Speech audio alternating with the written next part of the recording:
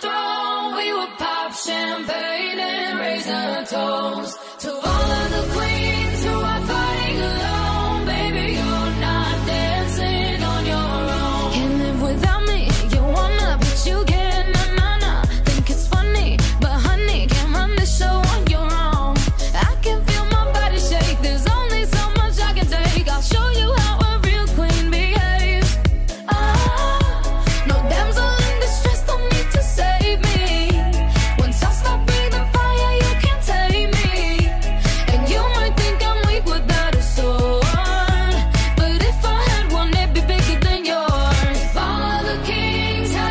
on the door.